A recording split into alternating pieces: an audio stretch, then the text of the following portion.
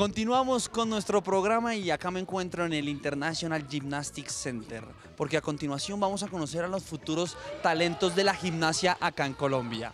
Eh, ellos tienen hoy su último entrenamiento y van a estar en Florida en pocos días y vamos a ver qué nos cuentan de esta competencia que se les acerca y que pues esperemos representen muy bien a Colombia. A continuación, los niños gimnastas aquí en LP Crónicas. Bueno, venimos eh, preparándonos desde el semestre pasado, más o menos desde junio. Esta competencia se hace anualmente y desde seis meses antes la estamos planificando, no solo por la parte técnica, sino toda la logística que significa llevar 25 deportistas a nivel internacional.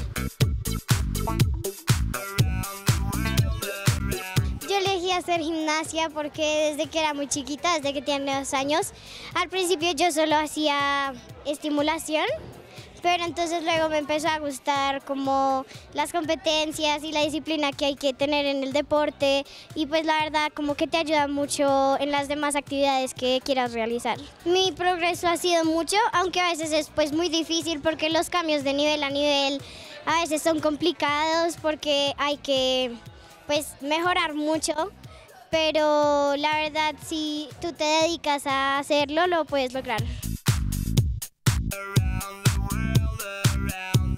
Bueno, eh, pues yo aquí llegué a este gimnasio y acá en este gimnasio se trabaja mucho la parte de niveles USAC. Eh, el proceso ha sido muy difícil porque yo con los niños estoy haciendo un proceso en el que me gustaría llevarlos a los altos logros. Es un trabajo un poco más fuerte, más exigente, de mayor rendimiento, pero sin embargo lo que nos permite a nosotros con los niveles USAC es que los niños son muy buenos en la ejecución, muy buenos en la perfección y así trabajamos muchísimo lo que es la base para que ellos cuando empiecen a hacer elementos de alta dificultad los puedan ejecutar muchísimo mejor y sean mejores deportistas. Esta competencia se llama Gasparilla Classics, se realiza en un eh, estadio de béisbol, eh, se llama Tropicana Field y consiste en un evento donde se, se lo que se quiere ver es la historia de unos piratas que llegaron en esa zona de Tampa, Florida, y lo que ese, esa zona está muy llena de clubes de gimnasia. Entonces lo que hacen es conmemorar la llegada de esos piratas en ese evento.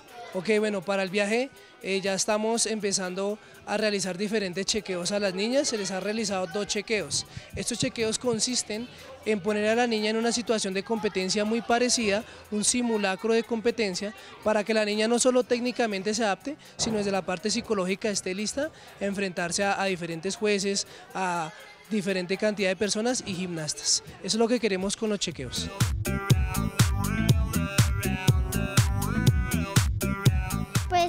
Preparo físicamente y también mentalmente de que si lo puedo lograr en los aparatos y también como elementos que en ese momento son difíciles, uno tiene que decirse a sí mismo que sí lo va a lograr y también esforzarte para, pues, para poder hacerlo. Bueno, en la rama femenina eh, se van a evaluar cuatro aparatos. Tenemos el aparato de salto, de suelo, de viga de equilibrio y las barras asimétricas. Eso en la parte femenina. Eh, en cada aparato se mira mucho la parte técnica. Este es un deporte de precisión y de un alto nivel técnico donde no solo la realización del ejercicio se va a mirar, sino qué tan bonito lo puede llegar a hacer el gimnasta.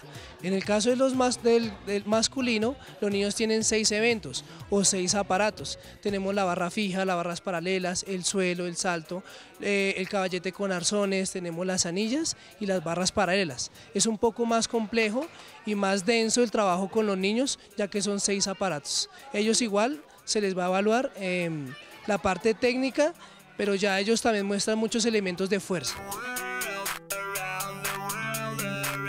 Muchos beneficios, tanto como deportistas como eh, personalmente. Como deportistas ellos aprenden a ser muy disciplinados, muy exigentes, serios y organizados. Cuando un deportista es así, aprende a aplicar esas facetas también para la vida. En la vida aprenden a ser serios, disciplinados, organizados y en cierta medida también son exigentes consigo mismos y pueden llegar a ser un poco más exitosos en las cosas que se propongan. Bueno, eh, este es el International Gymnastics Center, ya llevamos una trayectoria de 16 años, estamos ubicados en la calle 106 2131, tenemos gimnasia para todas las edades, acá manejamos desde bebés hasta personas adultas, tenemos, tenemos dos programas, uno recreativo y uno competitivo, se pueden acercar y acá los esperamos y pues a practicar gimnasia.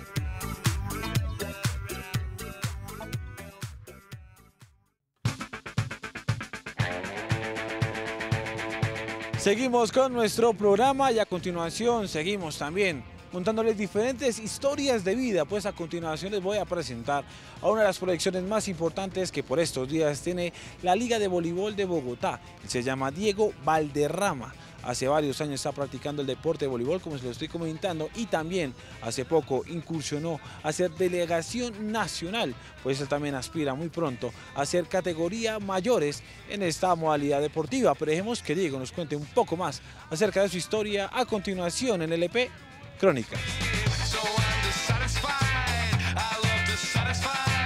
Eh, hola amigos de Claro Sport, eh, mi nombre es Diego Alejandro Valderrama Ardila, eh, hago parte de la selección de voleibol de Bogotá y selección Colombia. Eh, bueno, yo soy de Bogotá, nací en el 99, tengo 16 años, mido 1,94. me gusta el voleibol debido a que pues, no es un deporte de contacto y que es, pues, es difícil de practicar, pero es muy agradable cuando uno aprende.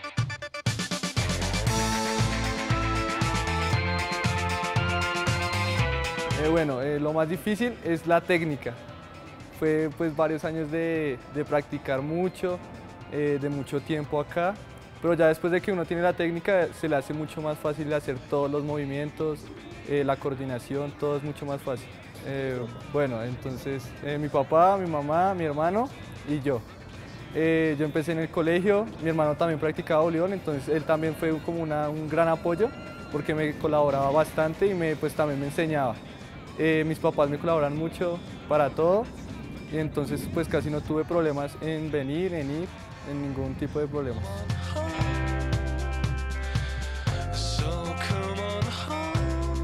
Eh, listo, ok, entonces en los entrenamientos yo empecé y pues era obviamente era pues eh, recién llegado, entonces me ponían a hacer ejercicios básicos.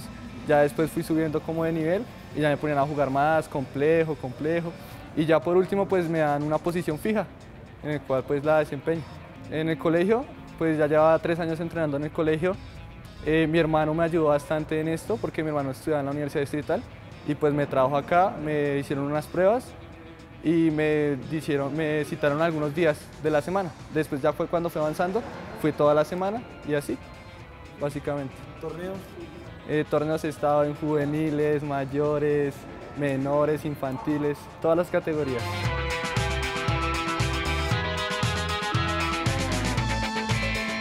Eh, llegué a ese punto el año pasado, ya llevo un año entrenando con la selección Colombia por etapas, ya llevo cinco etapas. Eh, básicamente me vieron en un torneo y en ese torneo pues me, ficharon y me dijeron que fuera a jugar. Eh, bueno, la experiencia es magnífica, ¿no? Porque pues es ya selección Colombia, traes jugadores de, todo, de toda Colombia a participar por un puesto que todavía no te lo has ganado, pero vas a participar y puedes, o sea, puedes luchar por ese puesto totalmente. Bueno, allá nos preparamos tres veces al día. Eh, son entrenamientos que duran de a tres a dos horas. Eh, son de verdad duros, son duros entrenamientos, pero que vale la pena entrenarlos.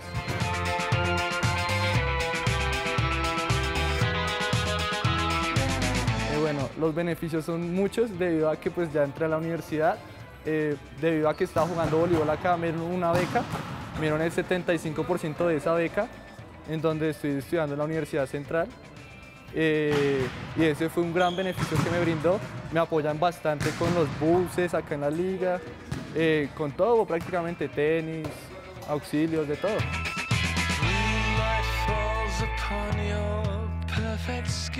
Eh, sí, no, me gusta estudiar bastante, pues porque tengo la beca me toca estudiar muchísimo más, entrenar, descansar, leer y ver televisión. Eh, mis sueños pues es jugar en otro país. Ya básicamente pues estoy luchando por ese sueño. eh, me veo en el, extranjero jugando a nivel profesional y con una gran familia.